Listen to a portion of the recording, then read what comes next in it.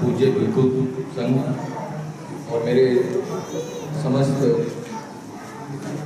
अम्बेडकरवादी और बुद्ध अनुयायियों महिलाओं, प्यारे बच्चों, आज भीम उद्बोध दिवस मनाया जा रहा है।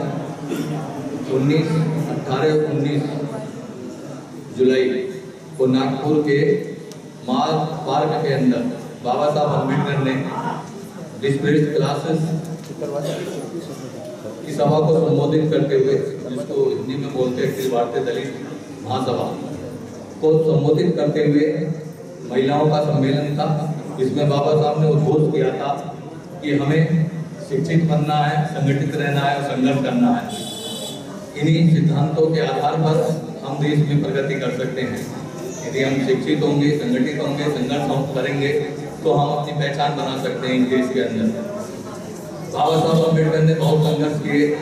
ये तो आप लोगों को मालूम है, बाबा साहब अंबेडकर के हम जब जीवन चरित्र पढ़ते हैं, चाहे वो धनंजय पीर का हो, चाहे सत्यानंद शास्त्री का हो, नाना चंद्र हैं तो बाबा साहब अंबेडकर के जब हम जीवन संघर्ष पढ़ते हैं तो हमारी आँखों में आँसू आ जाते हैं कि बाबा साहब अंबेडकर ने किन परिस्थितियों में अपनी शिक्षा प्राप्त करी। बाबा साहब अंबेडकर को शिक्षा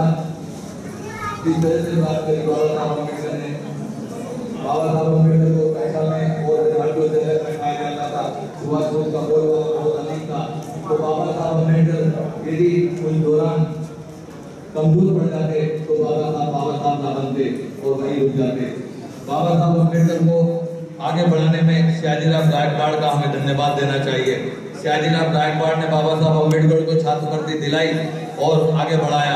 बाबा साहब अंबेडकर के जब ये शिक्षा ग्रहण कर रहे थे तो उसी दौरान बाबा साहब अंबेडकर के एक शिक्षक थे। इनका नाम, ये भी हम अंबेडकर लगाते थे, लेकिन बाबा साहब अंबेडकर के नाम के पीछे अम्बा बाड़ेकर लगता था। तो ये भी ब्राह्मण थे और बाबा साहब अंबेडकर को बहुत प्यार करते थे। अगर इनका प्यार दुलार ना मिलता उस दौरान तो बाबा साहब ऐसा हो जाते और सोचते कि आज मेरे साथ एक ब्राह्मण भी है तो हो सकता है कि बाबा साहब आगे बढ़े। तो कोई ना कोई तो बाबा साहब के साथ रहा, चाहे वो ब्राह्मण हो सयाजीराव गायकवाड़ है, ये छत्री थे, और छत्रपति साहू महाराज इन्होंने बाबा साहब को छात्रवृत्ति दिलाई, और अमेरिका लंदन विदेशों में भेजे। तो बाबा साहब अंबेडकर के साथ उन छत्रपति साहू जी महाराज सयाजीराव गायकवाड़, और उन शिक्षक को भी हमें धन्यवाद देना चाहिए, जो बाबा साहब अंबेडकर को आज अंबेडकर बनाया। तो मेरी, मैं, मेरा, आप सब लोगों से प्रार्थना है कि बाबा साहब अंबेडकर के जीवन चरित्र को हम हफ़्ते में एक बार अपने बच्चों को बैठा कर पढ़ाएँ और बताएँ कि बाबा साहब अंबेडकर ने किस तरह से अपने जीवन को चालू किया और हमें आज आज़ादी मिली है तो बाबा साहब अंबेडकर की वजह से मिली है। रही बात शिक्षित की, कि भाई, देखो, आज बाबा साहब अंबेडकर के जो मिशन में तन मन, धन से लगा हुआ है, उत्तर प्रदेश में जाटव समाज के लोग लगे हुए हैं। अब हमारा जाटव समाज लोगों का फ़र्ज़ बनता है कि हम अन्य जातियों को अपने साथ जोड़ें, चाहे वो गोरी हो, वाल्मीकि हो, खटीर हो, धोबी हो। जब तक हम इनको नहीं जोड़ेंगे, तब तक हम संगठित नहीं हो सकते।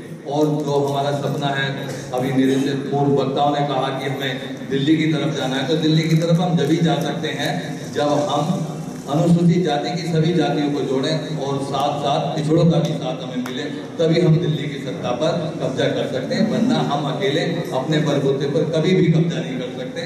जाटव समाज के लोग नौ परसेंट कैसे हम कब्जा करेंगे? तो जाटव समाज के लोगों का फ़र्ज़ बनता है, ये शिक्षित हैं, संगठित हैं, संघर्ष हैं। बाबा साहब अंबेडकर के मूवमेंट में बहुत अधिक योगदान देते हैं। तो इन लोगों का फ़र्ज़ है कि जब तक हम अन्य जातियों को अपने साथ नहीं जोड़ेंगे तब तक हम संगठित नहीं हो सकते और संघर्ष तो जो दिल्ली का जो हमारा सपना है वो पूरा नहीं हो सकता। बहुत बात बहुत कहने की है, लेकिन इन्हीं शब्दों के साथ में एक विद्वान की पंक्तियों से अपने भाषण को समाप्त करता हूँ।